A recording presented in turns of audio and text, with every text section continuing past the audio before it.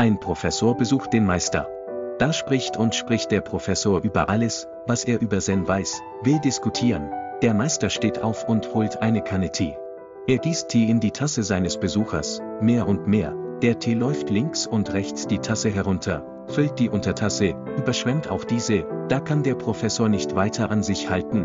Was tust du da? Es ist längst mehr als voll, da passt doch nichts mehr rein. Wie diese Tasse, sagt der Meister. Bist du überfüllt von deinen Meinungen und Spekulationen. Wie soll ich dir Zen zeigen, wenn du nicht zuerst deine Tasse leer machst?